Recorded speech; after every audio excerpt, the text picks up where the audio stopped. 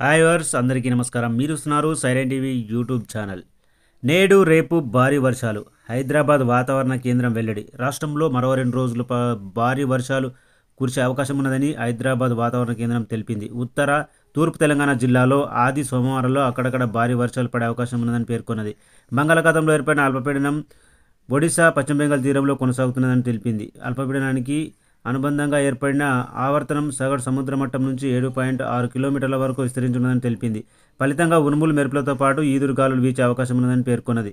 ఆదివారం తెలంగాణలోని కుమ్రంభీం ఆసిఫాబాద్ మంచిర్యాల కరీంనగర్ పెద్దపల్లి జయశంకర్ భూపాలపల్లి ములుగు భద్రాద్రి కొత్తగూడెం మహబూబాబాద్ వరంగల్ హన్మకొండ జనగామ జిల్లాలో అక్కడక్కడ భారీ వర్షాలు కురిసే అవకాశం ఉన్నదని వివరించింది.